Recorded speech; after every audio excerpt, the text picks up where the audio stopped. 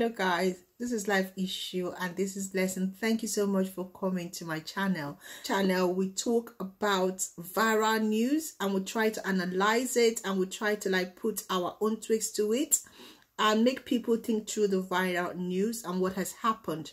Now today's viral news was a news item that i got off gist lovers page. I woke up this morning and i saw that video. Now when i saw this video as a woman as a mom i was really sad angry at first and my question was what will a woman do that a man that she got married to will treat her this way why will a husband not think about the implication of their action towards their wife and how it will affect their children. Now, if you've not seen this video of Abiola Bikili Eni, I think it's Eni, now who happens to be a well-known Nigerian seamstress. She is very popular. She has close to like 300 followers on YouTube before her husband took down her YouTube channel. Now, I think they've been having some marital issue and I think the husband was based in Kuwait and this is what her story is all about.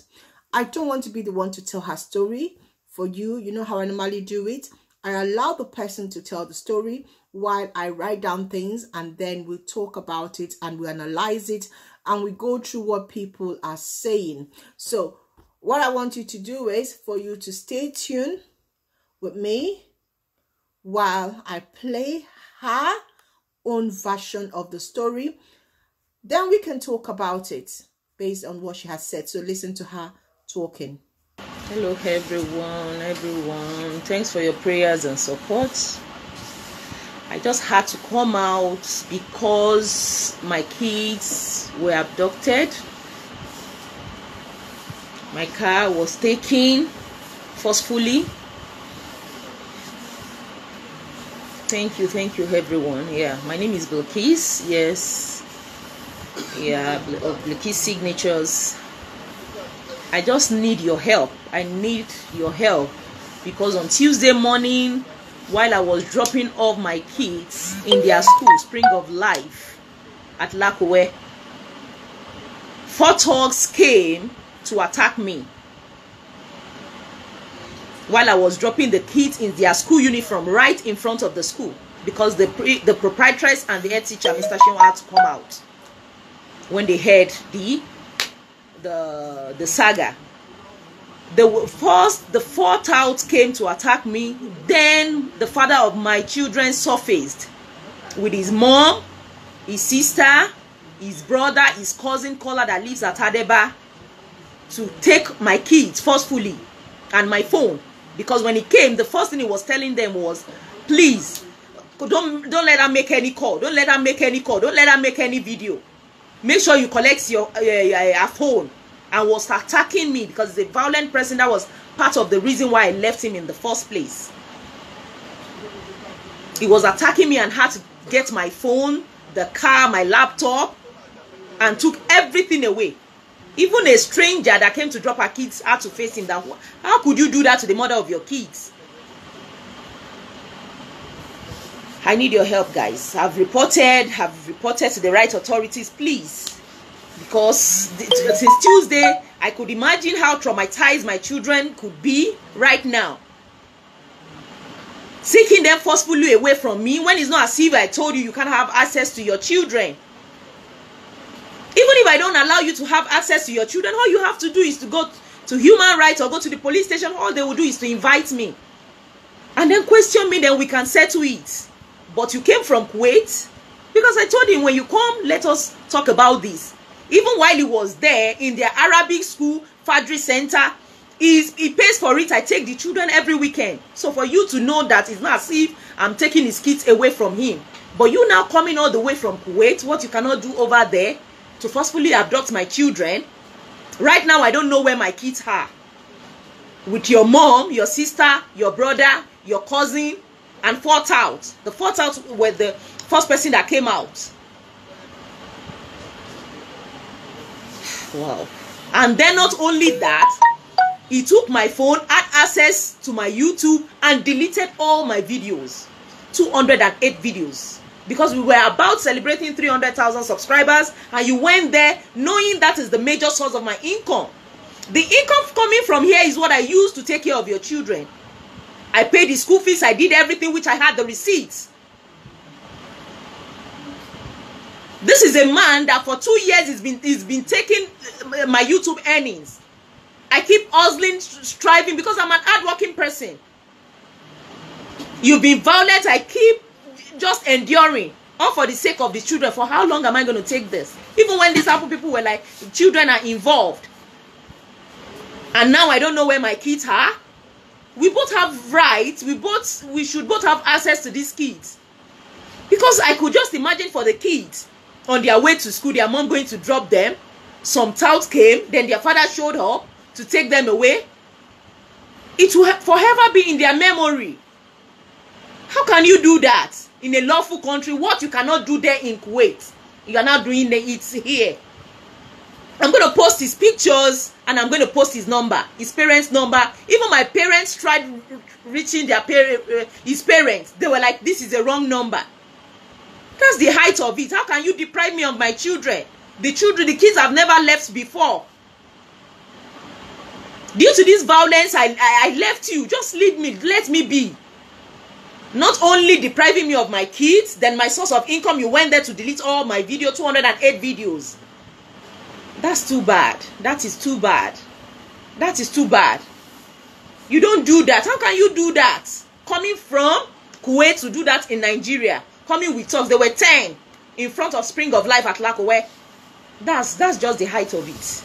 That's just the height of it. Yeah, I've reported. Thank you so much. Thanks for your prayers. But this has to be stopped because it needs to be taught a le- because if that is not done, he will keep doing that. Fine, that is the way he harassed me. The first thing when he came, give me your phone. That's the now you know just a violent person on a normal day the kids are scared of him so i could imagine those kids going through that process. I could imagine what the kids are going through right now. That's too bad. That's too bad. How can you deprive me of my kids? I've never left them for once. The condition in which they sleep they sleep in is very important what they eat. And then you just snap them out of nowhere. I could imagine where you took them to. Is it to a family place? You took them from their mom to a family because I, I don't know. I can't just think straight right now. I can't think straight because it's affecting me right now. It is it is affecting me. How can I be away from my kids since Tuesday? And we try reaching out to you guys, and you guys are, are not forthcoming. Oh my God, the height of it for him to have gone to my YouTube to delete my videos. I'm sure you guys will understand the type of man he is. He's so violent and mean. Still, I endured. And I and I couldn't take it anymore. I couldn't because my life is more important. There are times I want to make videos. I, I, I don't know because it's affecting me right now. It's affecting me. I'm, I'm, I'm, I'm, I don't know. I don't. I just don't know what to do. I've never left those kids, and then you just came and took them away with your family member, your mom, your sister. All right, guys. Thank you so much for watching that. Um, when I was watching that video as a mom, as someone that's worked with children, the first thing that came into my mind was how traumatized these children would be at this time. And to think that this was done by their parents, by their dad, it is very, very appalling. Now, let's look at the stress issue. This woman is clearly traumatized, okay? She's never been you know, left without her children. And not only that, these children have never had their mom being separated from them. And I wonder, why will a man want to do that? Whether you like it or not, forever and ever, in these children's mind, this picture will always be there. You took them away from their mom. And if these are, I don't even know if they are boys or girls, but no matter what gender they are, if these children are very close to their mom and you did this, what kind of a relationship are you trying to build with your children? You cannot force love. You cannot force loyalty. You can you know, take them away from their mom, whom they love, and you can impose another woman on them, it doesn't mean that when they grow up, they're going to go to their mom. You know, we need to understand what parenting is. Parenting is not by force. From the, what the woman said, these children are actually afraid of their dad. So that means there's no close relationship with their dad. There is no love there. So what are you trying to build by holding on to these children? Why is it that in Africa, when there is any kind of separation or divorce, the man holds on to the children. At the end of the day, children are more attached to their moms. Why don't you allow the better person to bring up these children? Why is this this egocentric or male dominance um, issue or the fact that you want to prove that you're a man, that your children are your children? Why don't we think about the well-being and the welfare of the children? Who should these children actually be with? When there is separation. I was just looking at what she said. How can you, as a parent, you went to your children's school to take them? I mean, not talk about people. Ha, the fact that you have actually shamed your children, the kind of drama that you must have brought in, their peers seeing them, knowing about this, talking about this forever and ever in their life. This is a story that will be told that their dad came with talks when they were in secondary school or primary school and took them. Why don't we think about our children when we're making some decision? And I don't know, this man said a lot of things, and I just wonder, I just wonder at the kind of upbringing this man had. Was there no one around him to advise better? What did this woman do? What is her sin? What has she committed that will make your mom, your sister, your brother, your cousin to come to your nephew, your cousin, your niece school to do this, not minding the public outcry, not minding the humiliation, the trauma.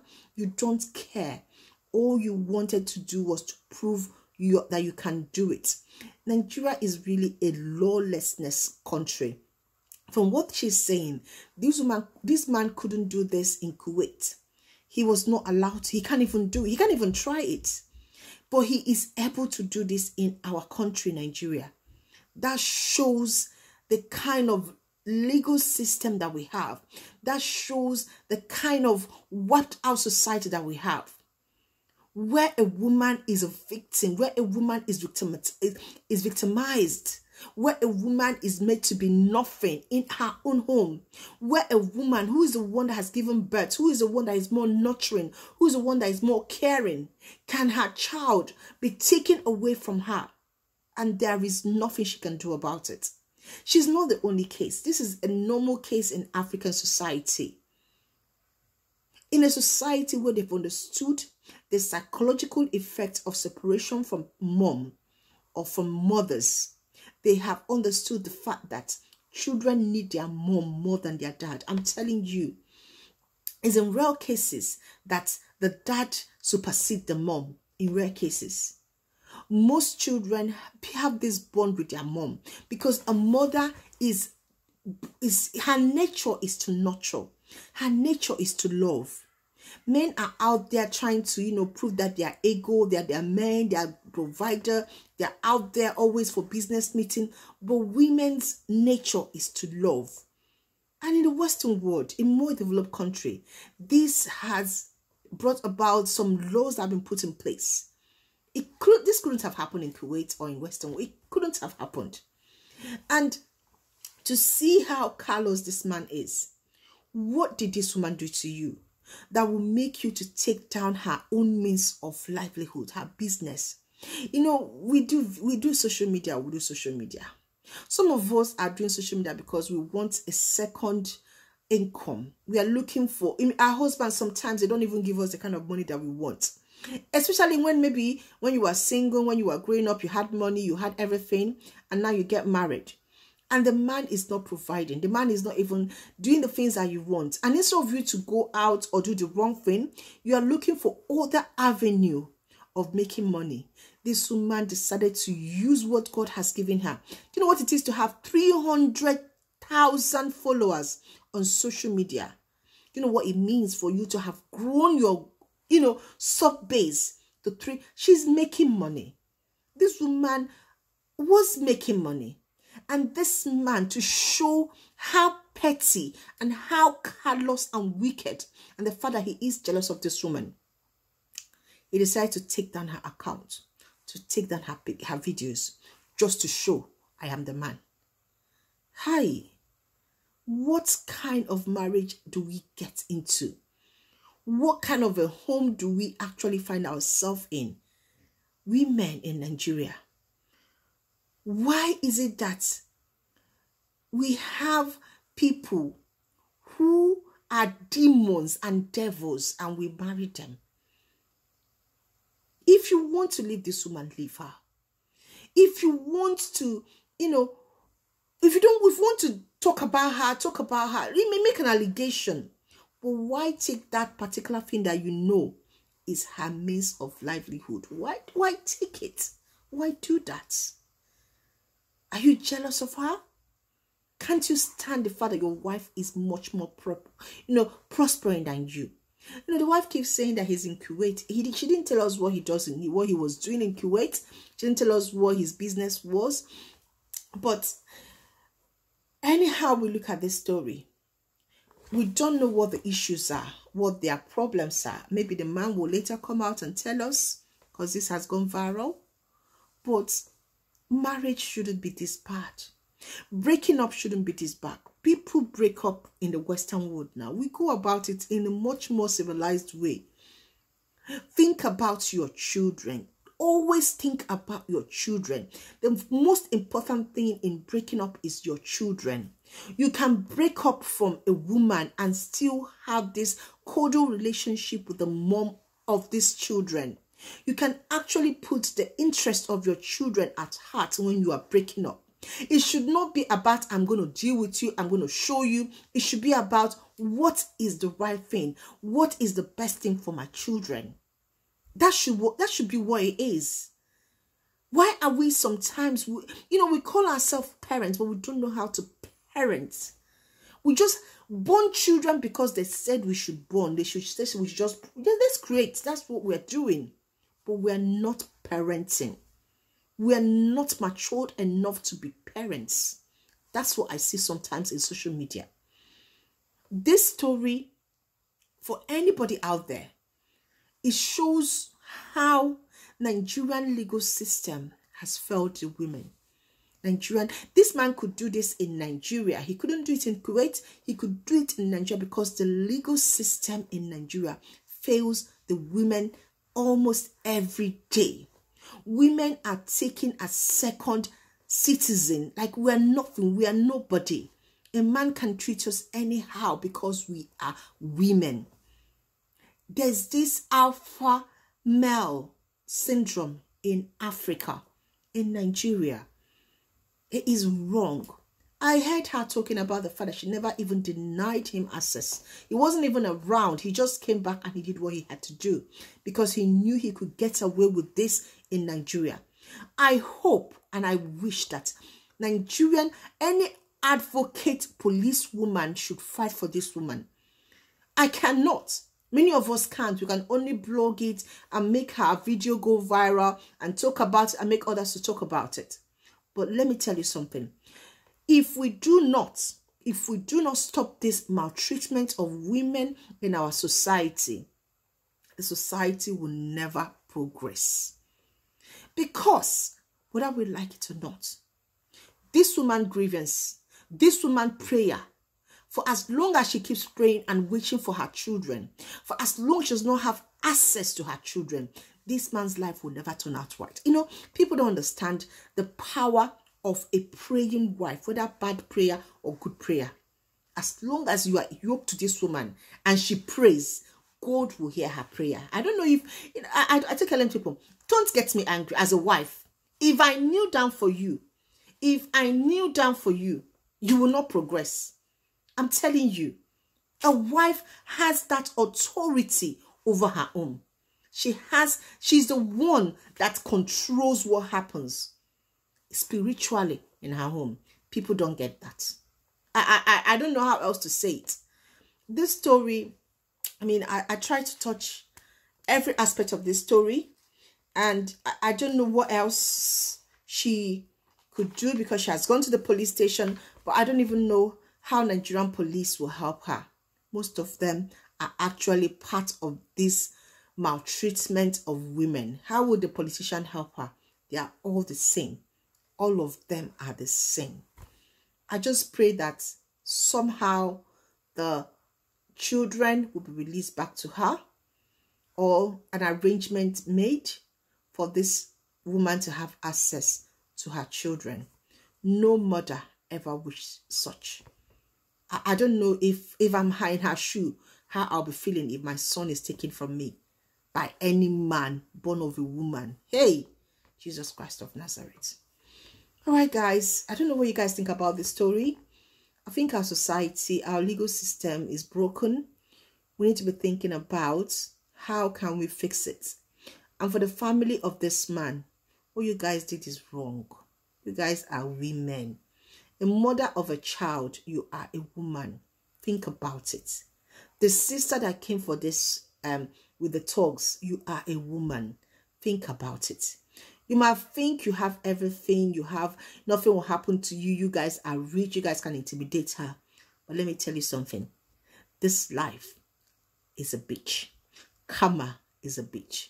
It waits for you somewhere. That's what you guys don't know. Karma is actually a bitch.